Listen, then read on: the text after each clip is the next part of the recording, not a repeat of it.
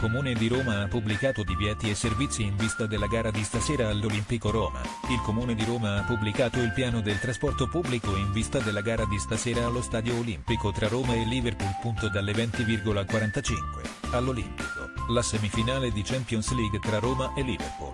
Divieti di sosta e possibili chiusure al traffico. Il foro italico è servito da il tram 2 Piazzale Flaminio barra metro a Piazza Mancini dai bus di 23 Marconi Ostiense barra metro B Garbatella Piazzale Ostiense Prati Piazzale Clodio, 31 Laurentina barra metro B Eurmagliana barra metro B Colli Portuensi Valle Aurelia barra metro a Piazzale Clodio, 32 Ottaviano barra metro a Stadio Olimpico via Flaminia stazioni 2 Ponti Grotte Rossa e Saxa Rubra della Ferrovia Roma Nord. 69 Talenti Ionio barra metro B1 Prati Fiscali Stadio, 70 Stazione Termini Centro Prati Piazzale Clodio, 200 Stazioni Prima Porta, Saxa Rubra, Grotte Rossa e due ponti della Ferrovia Roma Nord via Flaminia Corso Francia Stadio, 201 Oggiata Cassia Corso Francia Stadio, 226 Grotte Rossa Cassia Vigna Stelluti Corso Francia Stadio, 280 Stazione Ostiense barra Piramide Metro B via Marmorata Lungotevere Prati Stazione Lepanto barra Metro a Stadio. 301 Piazza Augusto Imperatore Prati Lepanto barra metro a Stadio Ponte Milvio Cassia Grottarossa,